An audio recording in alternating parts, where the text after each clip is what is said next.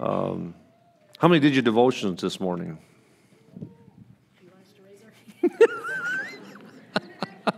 maybe, just in your heart, raise your hand if you did it. You know, isn't it easy on Sunday morning? You're going to church anyway, so you get a little extra sleep, and so you miss out on something like a devotional or something like that. And I had over the, over time because I'm preaching a sermon.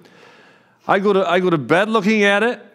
I wake up and I grab it and I go down to my office and I open it up and I look at it down there. And because I'm preaching a sermon, that, that can just fulfill some spending some time with the Lord. After all, I'm sharing things of the Lord. Right? Yeah, you've been there. And I, I had let this devotional time slip on Sunday mornings, especially. I don't like to admit that, but I want, but you need to hear that.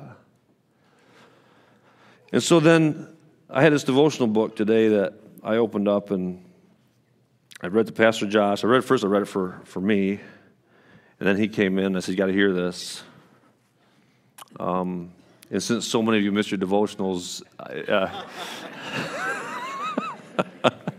You're going to get a devotional as we get started today. It's a little, little bonus I get this thrown in. Because of this whole getting to know Him better, getting to know the Lord, there's this part that, take, that took me back in time for just a moment to just stop and think.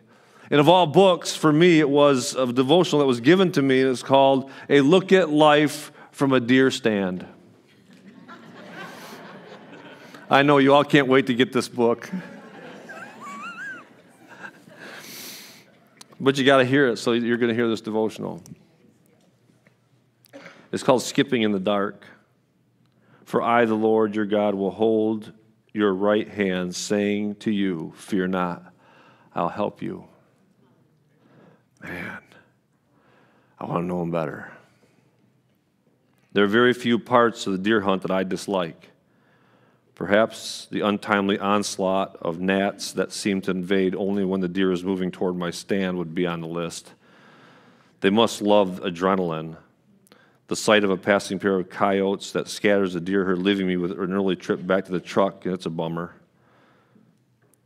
These things are terribly bothersome. But there's another part of hunting I don't care for at all, even after 35 years in the woods. It's the early morning treks to the stand by myself in the pitch black darkness of the pre dawn forest. I know you're all tough and you don't think about anything, but yeah. I'm always grateful when another hunter is along. Having company puts the joy back into the journey.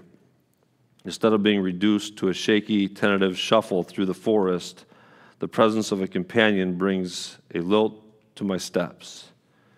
The imagination that would be hindered by thoughts of a deadly attack by a cougar, a grizzly, or the boogeyman is freed instead to look forward to the hunt. We stopped there this morning. We said, you know, isn't it amazing that even when we're walking with a, taking a young person with you into the woods, somebody that's small and can do nothing to help you, that just having them along, I feel good again. I, I don't even think about the dark when they're with me. Isn't that crazy? If anything, I have more responsibility, but it just goes away, just having somebody else along. There's something familiar about how the presence of a friend squelches the struggle of moving alone through the blackness of the woods. It's the comfort of our Heavenly Father gives to those who depend on Him for safety in this world. This is beautifully illustrated in the following poem by Lila Lehman Gustafson. It's a true story of a father and his little girl who had brought him to comfort years before when he was facing a time of great testing. The verses were read at her father's funeral. Now listen, skipping in the dark. She trembled with fear as they entered the night, the shadows like shrouds o'er the land. She whimpered, I'm scared of the darkness ahead. He said, Here, my child, hold my hand. She offered hers up. She clasped it in his, her wee little fist in his palm. The strength of his grip and the love of his touch to her quivering heart brought a calm. Her fears now allayed and her courage restored, she bounced by his side with a lark. And a feeling the grasp of his hand on hers, she said, Look, I can skip in the dark. Her daddy looked down at his dear little girl, so trusting, so sure of his care. For though she could not see the path in the dark, she feared not, for daddy was there. The Lord sent a message through his little girl that bolstered his own troubled mind.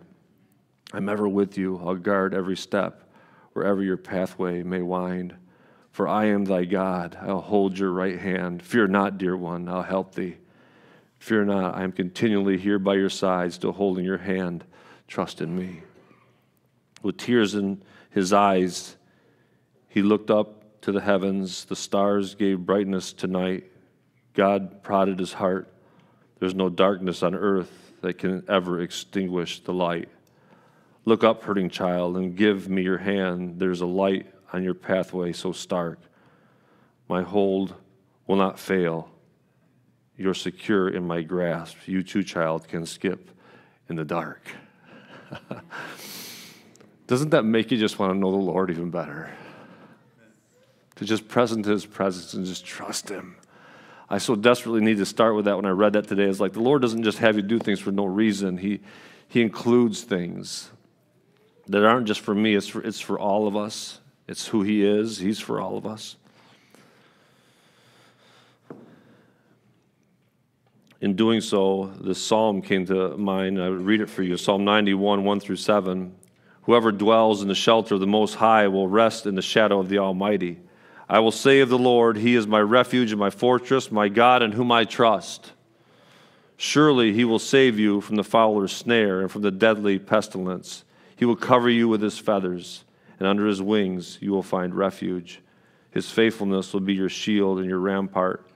You will not fear the terror of night, nor the arrow that flies by day, nor the pestilence that stalks in the darkness, nor the plague that destroys at midday. A thousand may fall at your side, ten thousand at your right hand but it will not come near you. I love that David just speaking of the knowing of his God, knowing, knowing full well of his presence and who he is, and being secure in that. And it's so important that we become secure in that. I couldn't help that in my looking at this knowing God better, I'm all over A.W. Tozer, The Pursuit of God. That's a book you got to read every single year, at least once. And to go through it again is just, uh, it, it, just, it's, it's, it's just brand new all over again. Brings such good reminders. So there's going to be a few things in here, The Pursuit of God by Tozer.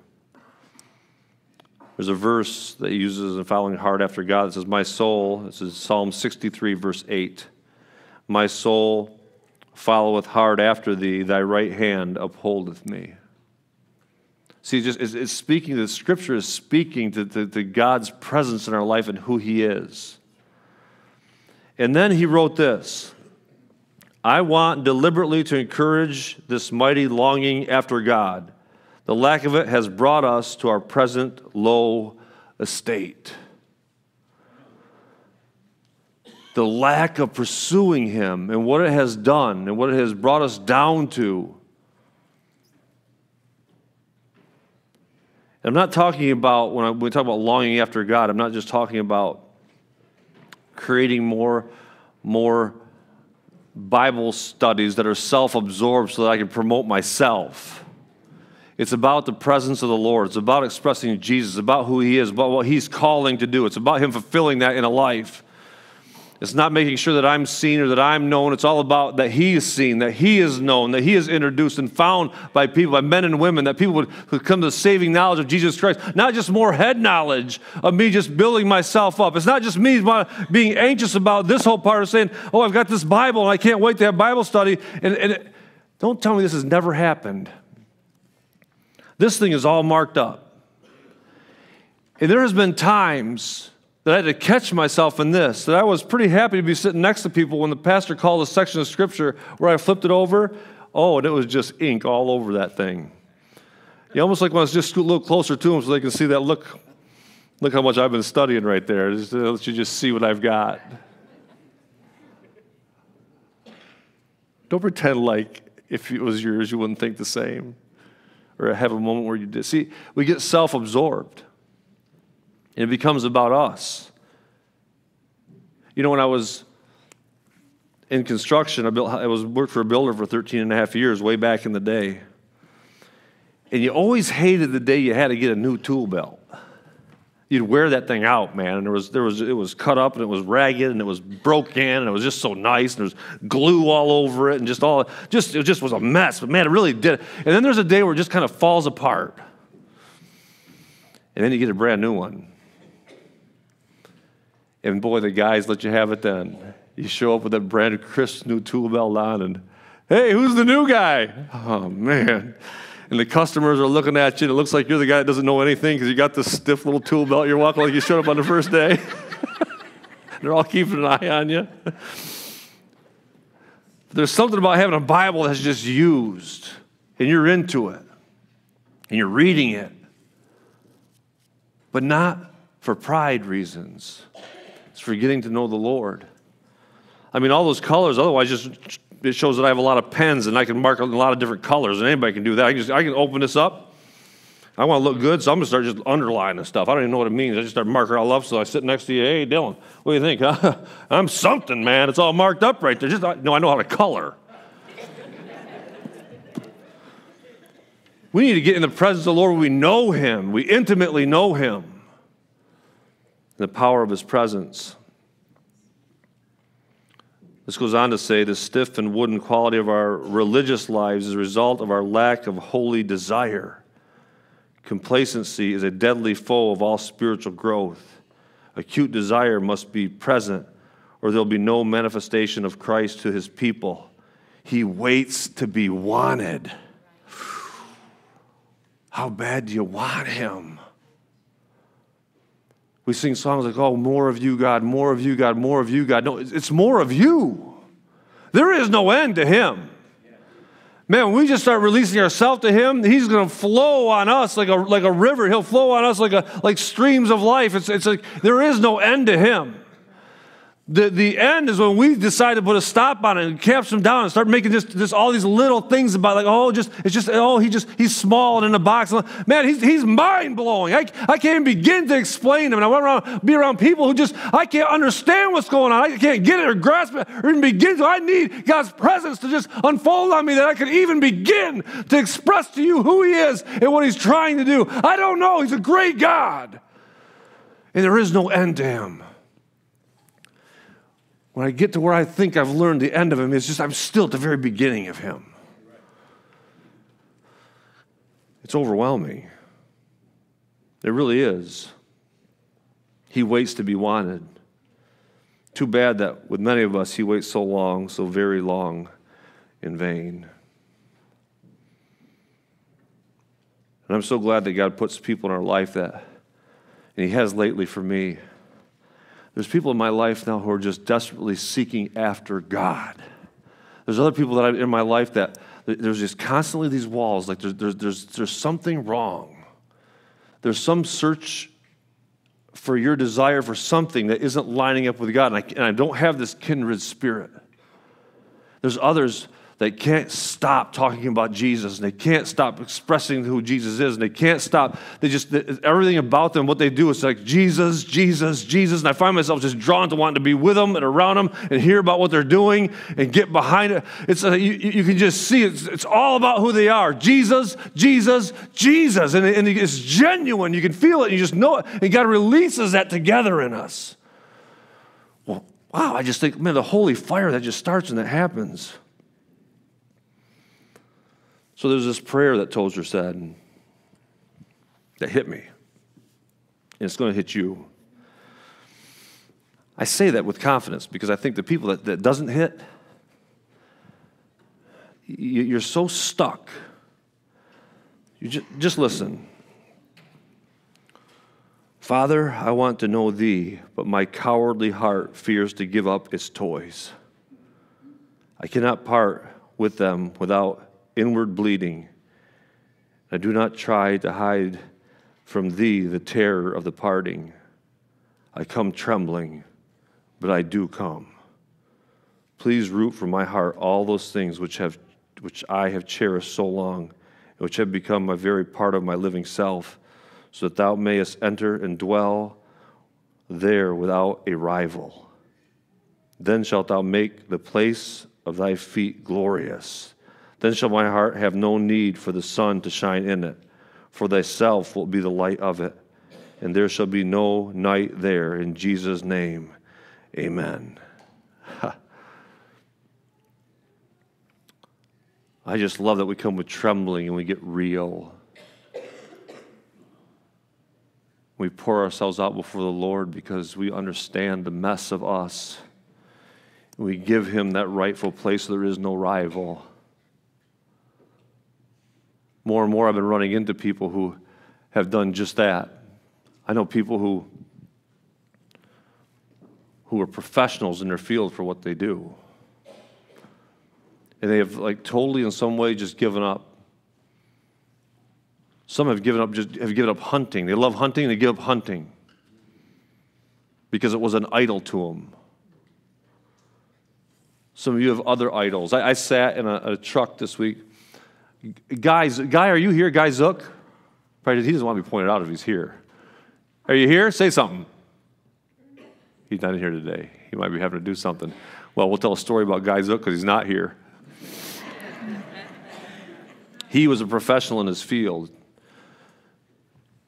He, he shot world record level turkeys in an open calling competition with just the mouth call of a turkey.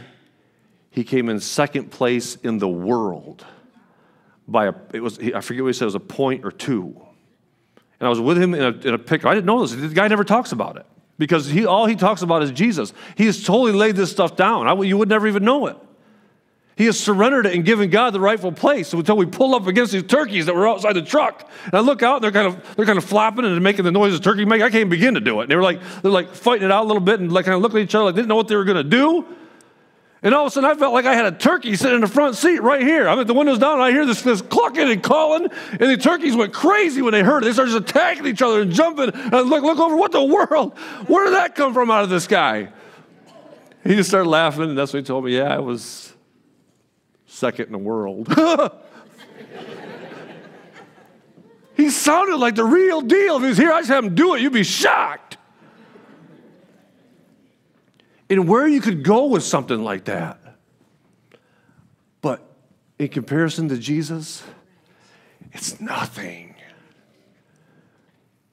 he just cast it aside. And that, God doesn't use him in other ways with some of the passions that he instilled in his soul in different ways, and probably ways that brings his, far, his, his, his heart far more joy than it ever would have before.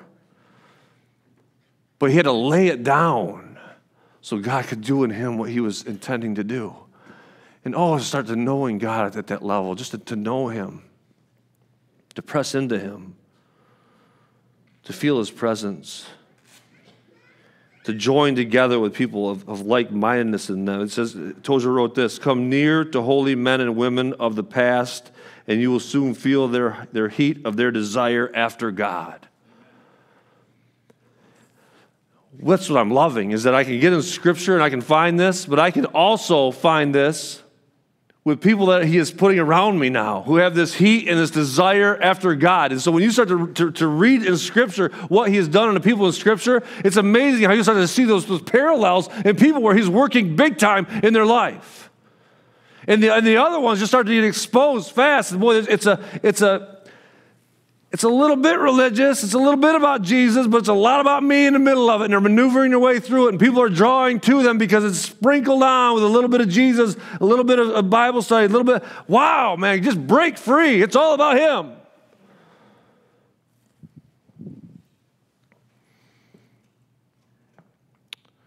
In Scripture, Moses longed for God. In the book of Exodus, he said, Oh God, show me thy glory. See, they wanted to taste and touch. They wanted to feel God's presence on their hearts. To a boldness of just, oh God, show me your glory. Man, I want to know you in the power of your presence. Oh God, I've become just desperate for you. And we try to take on too much for ourselves. Man, I, I relate to the moment when I try to take on too much for myself. It was at the depot, and I, I, I the, the Lord showed it to me, and so it will be a forever story for me. Some of you have heard it, some people haven't. So you're going to hear it again or you'll hear it for the first time. But in that office that day, when I said, Lord, I think that I can minister better to these people, Lord, if you allow me to feel what they're feeling. So I can speak right to the hearts of them. That when I come out, I will know, I'll know exactly, Lord, that, that is you, and I'll, I'll, be able to, I'll, I'll be able to speak right to their hearts. Let me feel what they're feeling, Lord. And he granted me that prayer. And I stepped into the room from that little back room and stepped in to the depot. The room was full. And my feet hit the floor in there, and I could not breathe. I kid you not. I tried to get a grasp of air, and people were starting to talk to me. I was, I, oh, if somebody's ever said in your chest you can't breathe, Have you ever been had the air knocked out of you, and you're just struggling for that breath, I was trying to find that breath. I could not find that breath, and I knew immediately what I had asked for and what had just happened as I felt the pressure of the world in just that room. That was my world at the moment, but this is not alone the whole world. And I turned went right back in there and I asked for forgiveness before I walked. Lord, it's not for me to carry. We are presenting it. Look, you need Jesus because He is the one who carries this. He's the one that'll be your source. He's the one that'll be your everything. So let me point you to Him. And that's where you're set free. And that's what he did. And that's what he does. And that's what he still does today. God, show me your glory. Lord, let me get real. Let me not hide, Lord, and just be just the I can't the fakeness just it just drives me crazy sometimes. We just don't get real. And David's life was a torrent of spiritual desire. He his psalms ring with the cry of the seeker and the glad shout of the finder. In Psalm 34 8, it says, Taste and see that the Lord is good. Blessed is the one who takes refuge in him. That's, that's his words. Taste and see. Man, get to know him, get into his word. Paul confessed in Philippians 3:10, I want to know Christ, yes, the power of his resurrection and in participation of his sufferings, becoming like him in death. Wow a prayer like that. I want, to, I want to know him. I want to know him so well that I understand that he's taking me beyond this life. He's taking me to this life and to the grave and beyond the grave. Man, what a great God we serve. That even the grave can't hold us. But we have to seek him with all of our heart.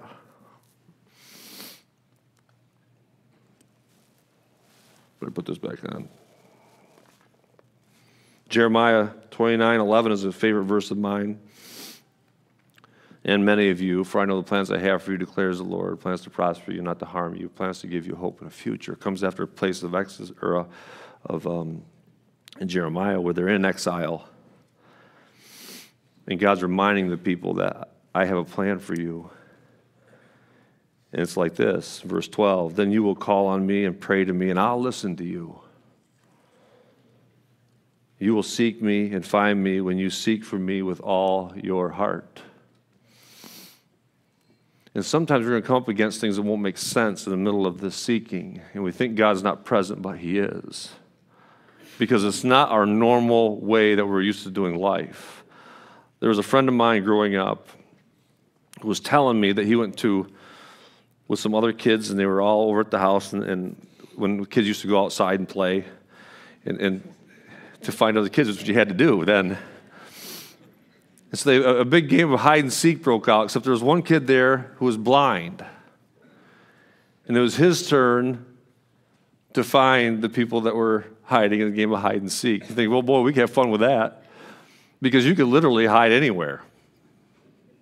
You can just move over here and just stand right here. You can't see me anyway, I'm just going to stand still. He says it was amazing how it was his turn. He got in the middle and he stood there. He said, once he stood there, everybody felt trapped.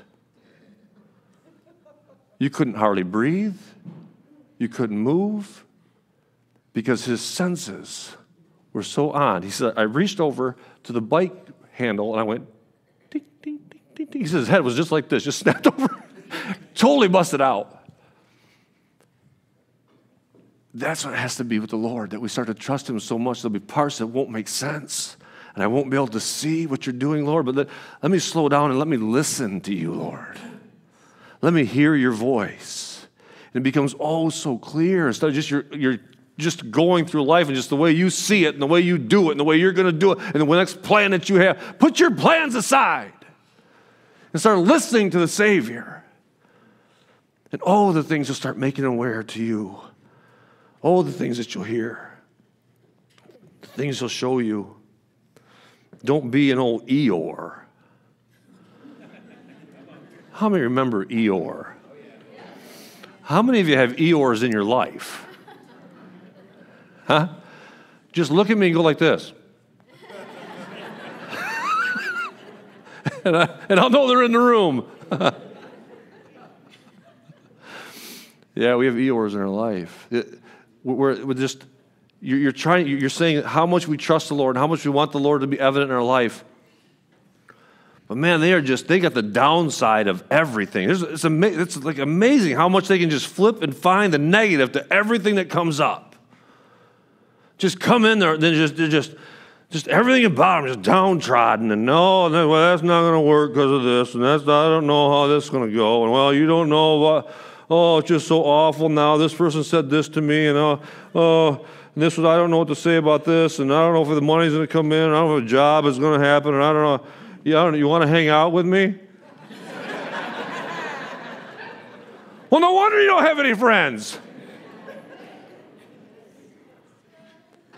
May start living in the joy of the Lord about what the Lord is doing. Man, I'm going to look right past it and say, Look, I don't understand, but I know what God has done in my life. He saved me, He set me free in the name of Jesus. I'm not going to let me get, get me down, but I'm going to go forward and give Him praise. What do you want to do today, man? Let's just, in the name of Jesus, let's go do something where we're going to get excited about what God is doing. I'm not going to live in this mess. Amen. Well, yeah, okay, yeah, let's hang out. That changes things a little bit, doesn't it? We got to get in that spot, that place where we're not just reciting what isn't happening. My goodness, do you even know the Lord? Let the joy of the Lord be your strength. Wow. We hear this from David and Paul, and I can't think of, as I think about this, I can't think of, if, if it was a locker room speech of an Eeyore, can you imagine how much things would change at halftime in the locker room? You come in, you're down, you know, a couple touchdowns down, you get in the locker room. I don't know, guys. and beat us up pretty bad. Probably gonna only get worse the second half. so just endure to the end. Wouldn't have a job for very long, would you? Because too many times you see that the halftime, when things aren't looking like what you want them to go and how it has uh, not what you expected, that things flip as they make adjustments at halftime. We're going to make adjustments. We're going to do things different. We can see what the enemy is trying to do to take us out. And now we're going to make adjustments and go out and play this game differently. We're only at halftime. We got a whole other half to go. Why is your head in the sand? Why do you have your head down? Pick it up. Do you know who you are? Man, you start speaking life and speaking what's positive about what's going to happen and why we're going to change this. And all of a sudden, man, the whole energy picks up. And that's who God is. We come here and we just get revved up for what He's going to do. Yeah, you might have had a rough week. It might have been tough on you. We're coming in here and say, but my God is so good. I went in I'm charged up. We're going out for a lot more this week for what He's got because my God is going to change somebody's life with the, with, with the interactions He's going to give me, the way He's going to use me. I'm, I'm not even going to, I'm going to let God take care of this mess. See, quit trying to keep your hands on it all and do it all the time. One of the biggest things that set my wife free one time is when I went to her about all the struggle that was going on in a certain situation. I kept going to her, to her, to her. And I tell you what, it was I almost found joy in just being able to put all the pressure on her. Tina, what are you going to do? Tina, did you say this? Tina, there was one day she looked at me, and she goes, You're going to have to ask the Lord. And I was like, What? She goes, I'm not carrying it anymore. I'm not doing it anymore. So I gave it all to the Lord. You're going to talk to Him. Quit asking me. He's the one that has it. I don't. Man, I didn't know what to do. Because I was arguing with her, and every now and then you get riled up, you get some interaction, like, yeah, now I'm getting somewhere. I got her riled up. Yeah, now we're, now we're accomplishing something. Not accomplishing anything. Then you go to the Lord start talking to him, but he convicts you, like, oh, man, what do you do? I was like, I don't know. Okay, Lord, it's yours. I'm not arguing about it anymore. you know, it gets things in, in perspective really fast. And that's where we got to get that, that walking, working relationship with him to know Him and the power of His resurrection in and through our life. There's this power of scriptures I want to read to you as, as David poured them out. And I just want to, I didn't even put them to the screen because this is one of those moments of time where you just need to listen and not read, not see. Faith comes by hearing, and hearing by the word of God. So just hear it. Hear it, let it get into your spirit. Psalm 63, 1 through 4. You, God, are my God. Earnestly I seek you. I thirst for you. My whole being longs for you in a dry and parched land where there is no water. I have seen you in the sanctuary and beheld your power and your glory. Because your love is better than life, my lips will glorify you. I'll praise you as long as I live. And in your name, I'll lift up my hands.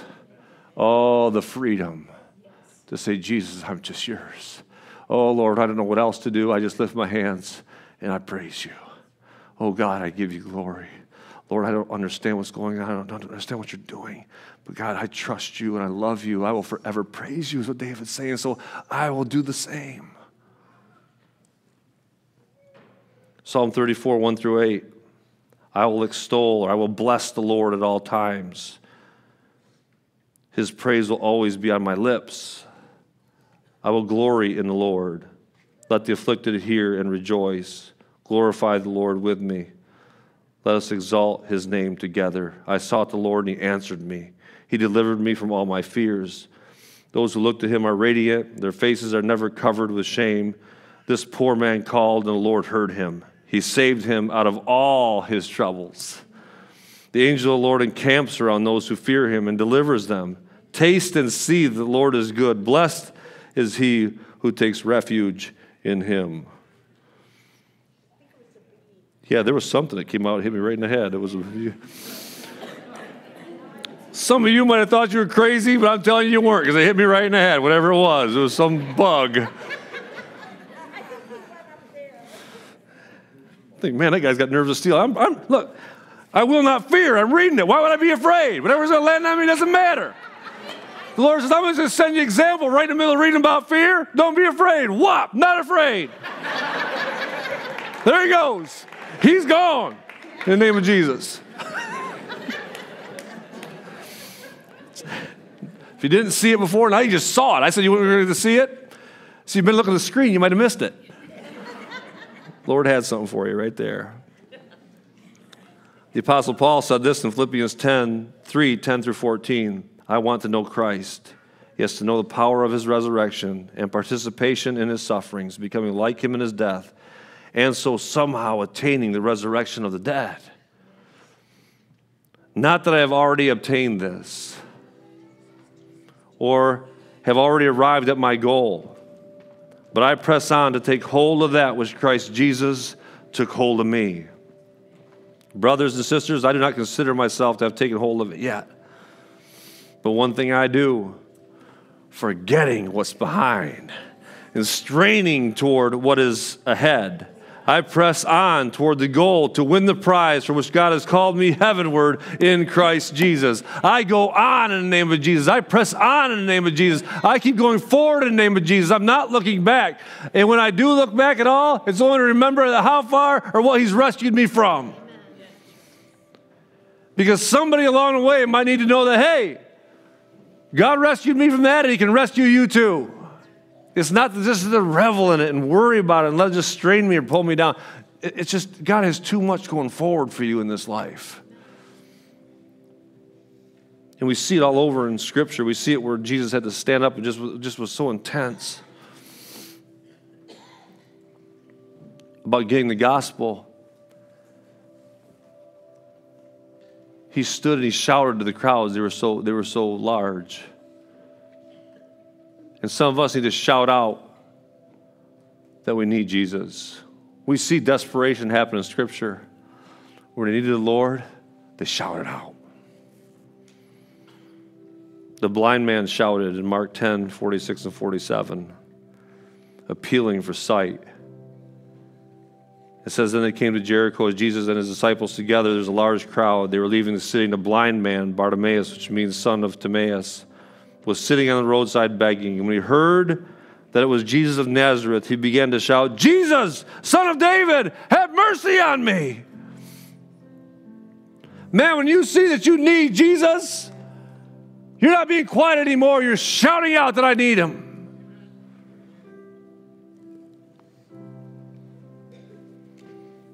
Peter stepped out on the water. He asked the Lord, Can I come out on the water? Matthew 14, 29 through 30. And Jesus said, Come. Then Peter got down out of the boat. He walked on the water and he came toward Jesus. But when he saw the wind, see, he saw the storm, he focused on that. He was afraid. He began to sink and he cried out, Lord, save me! He shouted.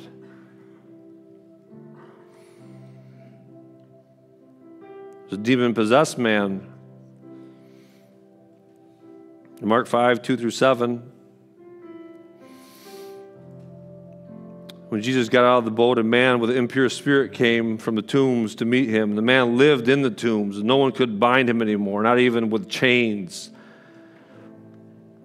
For he had often been chained hand and foot, but he tore the chains apart and broke the irons on his feet.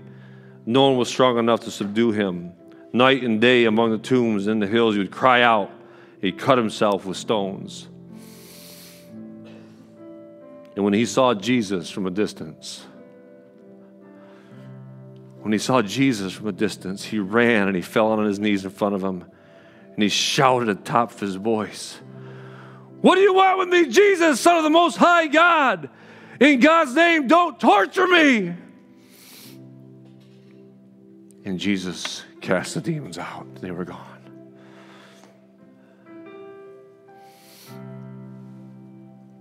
You know, what makes us think that, man, that's just so far off and somewhere else? Because I keep thinking, what controls you that you need to shout out to the Lord? In what way are you sinking that you need to shout out? In what ways can't you see what the Lord is doing and you need to shout out, need a touch of Jesus? What is it? One of my favorite stories of our times when Jackson Senyonga spoke about the satanic high priest.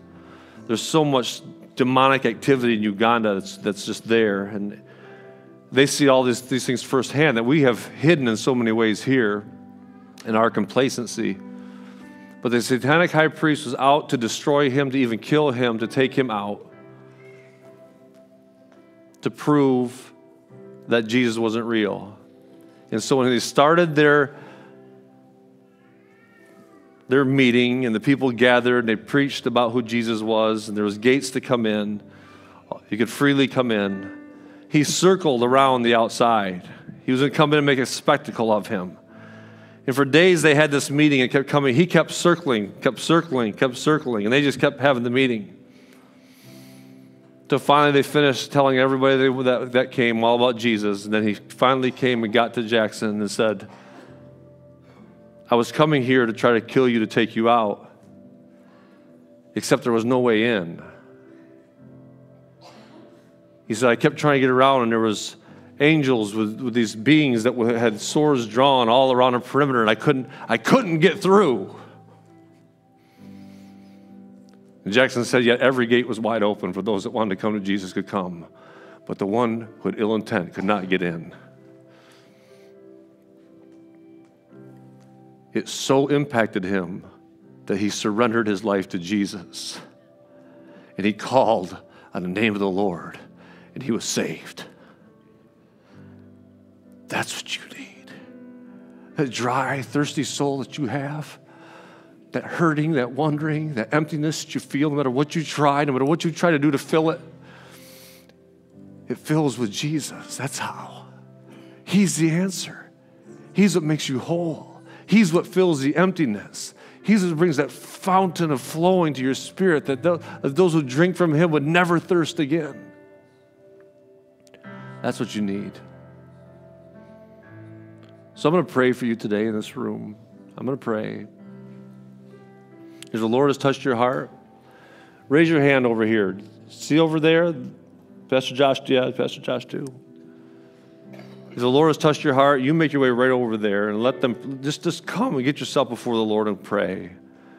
When we rise to sing, you move and go there. So rise to your feet right now if you would. And I want to pray. So just stand.